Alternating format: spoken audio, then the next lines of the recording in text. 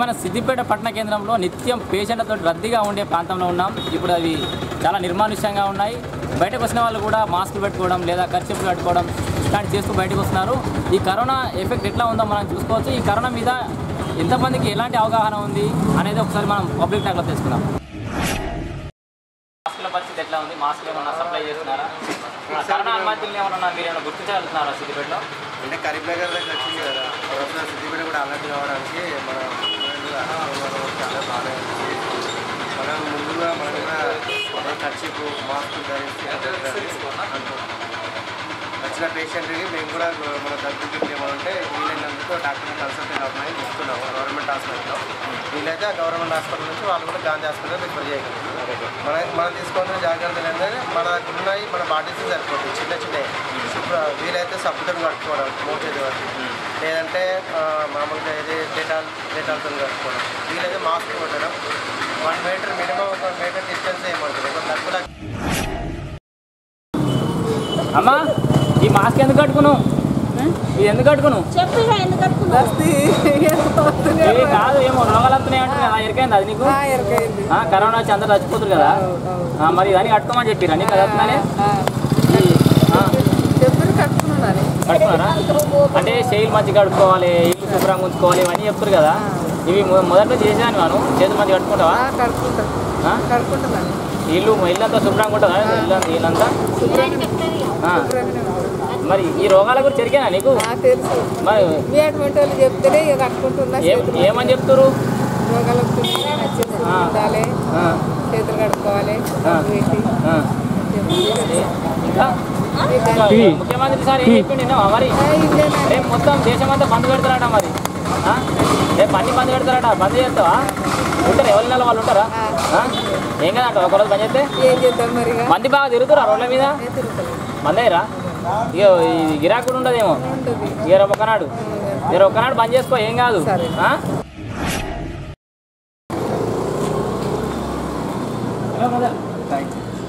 ఏంటి ఈ మాస్కులు ఎందుకు ధరించారు? ఈ కరోనా మీద ఏమైనా ఐడియా ఉందా మీకు? దేశవ్యాప్తంగా తెలిసిందే కదా కరోనా అనే మహమ్మారి దేశవ్యాప్తంగా కాదు ప్రపంచవ్యాప్తంగా కూడా ప్రజల్ని పట్టి పీడిస్తుంది కాబట్టి ఆ రోగ నిర్ధారణ కోసం అంటే నిర్ధారణని ఈ కాకుండా మెడికల్ ఈ మాస్కులు ఎక్కడ సిద్దిపేటలో సరిపోయిన మాస్కులు ధరి లభిస్తున్నాయా మరి ఈ మాస్కులు షార్టేజ్ ఉన్నాయా మాస్కులు నిజంగానే షార్టేజ్ అయిపోయినాయి. ఐదు రూపాయలు యాభై మాస్క్ ఇప్పుడు ఫిఫ్టీ ఫార్టీ రూపీస్ అట్లా అయిపోయింది. అంటే ఈ మాస్క్ తోటి ఏమైనా ఫలితం ఉంటుందా ఖచ్చితంగా? ఫలితం అని అంటే ఈ వ్యాధి అనేది ఒకరి నుండి మరొకరు సోకే చాయిస్ ఉంటుంది కాబట్టి దాన్ని మితిమీరకుండా హద్దుల్లో ఉంచడానికి కోసం మాస్కులు కొంతవరకైనా సాధ్యమవుతుంది.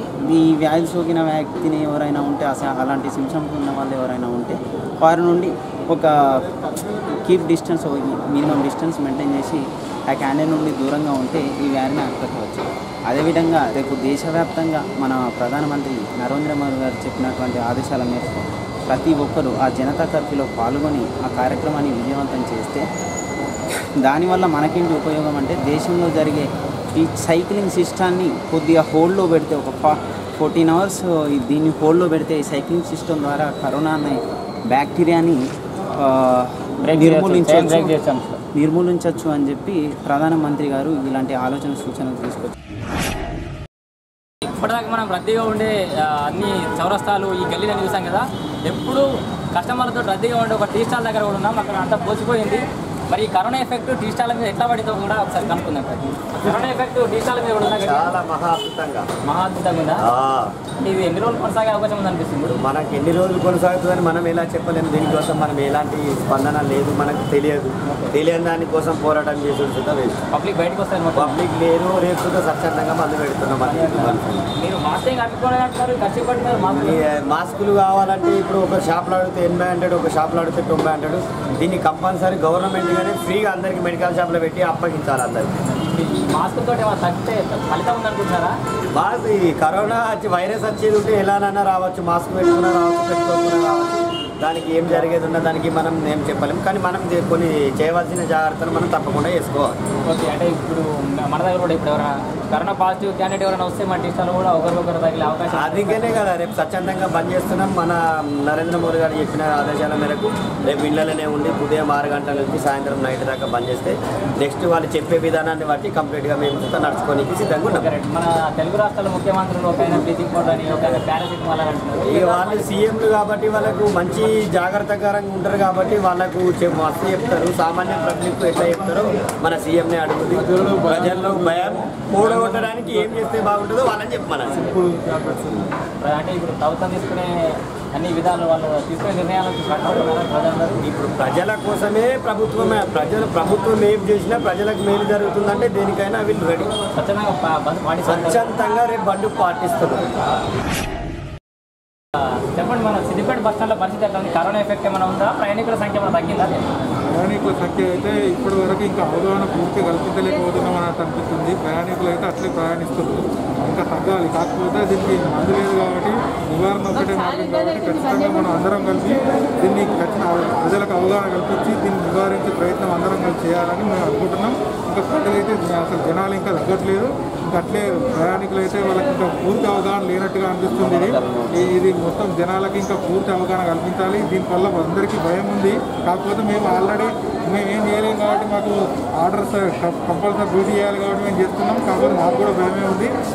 అందరినీ దృష్ట్యా పెట్టుకొని ఇది ఖచ్చితంగా దీన్ని అయితే ఏదో ఒక చర్య తీసుకోవాలని కోరుకుంటున్నాం. ఆర్టీసీ బస్ స్టాండ్ శానిటైజ్ చేయాలని చెప్పారు కదా ఇంకా క్లీన్ చేస్తున్నారా బస్ స్టాండ్ని చేస్తున్నాం. రోజు క్లీన్ చేస్తున్నాం. అదైతే షూర్గా జరుగుతుంది. రోజు ఖచ్చితంగా కడుగుతున్నారు. ఆల్రెడీ నీట్గానే ఉంది కానీ కాకపోతే అందరు ప్రయాణికులు ప్రయాణికులకు మాత్రం ఇంకా అవగాహన సంఖ్య మాత్రం తగ్గలేదు. ఇంకేం తగ్గలేదు.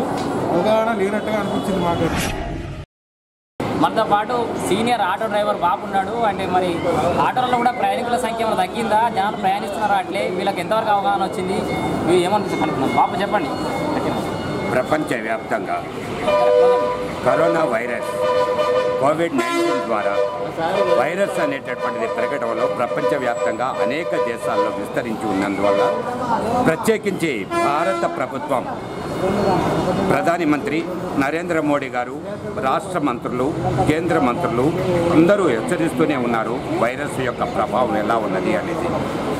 ఈ వైరస్ ప్రభావం అన్న కనుక ఇతర దేశాల నుండి వచ్చి భారతదేశంలో కూడా అనేక మన తెలంగాణ రాష్ట్రంలో కూడా అనేక ప్రాంతాల్లో విస్తరించినందువల్ల భయభ్రాంతులకు గురవుతున్నటువంటి ప్రజలకు ప్రభుత్వ సూచనలు ఏమని ఏమనిస్తుందంటే ప్రజలు ఒకరికి ఒకరు దూరంగా ఉండాలి. పూర్తిగా రేపు ఆదివారం ఉదయం ఏడు గంటల నుంచి రాత్రి పది గంటల వరకు కూడా ఎవరు బయటకు రావద్దని ప్రభుత్వాలు రాష్ట్ర ప్రభుత్వాలు నిర్ధరిస్తున్నాయి కావున ప్రతి ఒక్కరు కూడా ఒకరికి ఒకరు దూరంగా ఉండేటట్లుగా ఉండడం మంచిది. చేతులు ముఖ్యంగా నేను అనుకోవడం ఏంటంటే ఈ విధంగా ప్రచారం అనేటటువంటి జరుగుతుంది కాబట్టి ఈ వైరస్ అనేటటువంటిది ముఖ్యంగా చేతుల ద్వారా వస్తుంది అనేటటువంటిది అనుమానంగా ఉంది.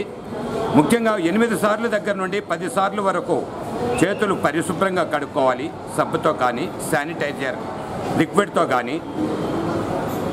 చాలా పరిశుభ్రంగా మోచేతుల వరకు కడుక్కోవాలనేటటువంటిది మనవి చేస్తున్నారు. కానీ ఉచితంగా మాస్కులు పంపిణీ చేయాల్సింది స్వచ్ఛంద సంస్థలు కానీ ముందుకు రావాలని కోరుతున్నాను. ఆటో డ్రైవర్గా నా పేరు ప్రసాద్. మా యొక్క ఆటో డ్రైవర్ల ప్రయాణికులు కూడా చాలా విపరీతంగా తగ్గిపోయారు. రోజు మ్యాక్సిమంగా నాలుగు వందలు ఐదు వందల రూపాయలు సంపాదించేటటువంటి వాళ్ళం కూడా ఈరోజు డీజిల్ అనేటటువంటిది డీజిల్ ఖర్చులు కూడా వెళ్ళలేని పరిస్థితి ఏర్పడుతుంది. కాబట్టి రేపు ఉదయం నా యొక్క సలహా కూడా ప్రభుత్వ ప్రచారాల ద్వారా రాష్ట్ర ప్రభుత్వం కానీ కేంద్ర ప్రభుత్వం కానీ తెలియపరుస్తున్న విధంగా రేపు ఉదయం ఏడు గంటల దగ్గర నుండి రాత్రి పది గంటల వరకు ప్రతి ఒక్కరూ ఇంట్లో నుంచి బయటికి రాకుండా ఉండాలని మనవి చేస్తూనే ఉన్నాను.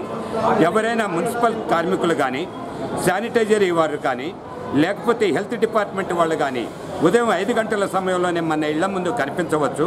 అలాంటి వారు ఎవరన్నా వచ్చినా మన బాల్కనీలో కానీ ఇంటి వాకిట్లో కానీ ఉండి రెండు చేతులతోటి చప్పట్లు కొట్టి వాళ్ళని గౌరవించే విధంగా మనం చేయాల్సినటువంటి ధర్మం మనకుంది. మన కోసం సేవ చేయడానికి వస్తున్నటువంటి కార్మికులను మనం గౌరవించాలి. వాళ్ళకి శుభాకాంక్షలు తెలియజేయాలి. ప్రభుత్వం ఈ ఆర్టీసీ బస్సులను కానీ ఇంకా ఈ పబ్లిక్ సెక్టర్లో పబ్లిక్ ట్రాన్స్పోర్ట్ అన్నింటిని కూడా శానిటైజ్ చేస్తుంది బాగా క్లీన్ చేస్తుంది.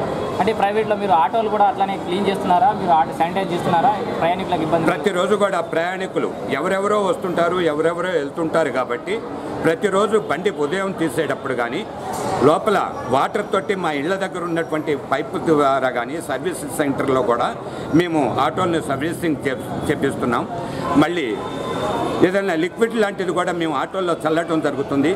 ప్రజలకి ఏంటంటే అపరిశుభ్రమైనటువంటి వాసన రాకుండా మంచి సువాసనలు కలిగేటటువంటి కొన్ని పదార్థాలు మేము వాడుతున్నాం లిక్విడ్లు మా చేతులు కూడా ప- ప్రతి గంటకు ఒకసారి అంటే రోజు మ్యాక్సిమంగా పదిసార్లు మేము కూడా వాష్ చేసుకుంటూ ప్రయాణికులు కూడా మేము తెలియజేస్తూ ఉన్నాం.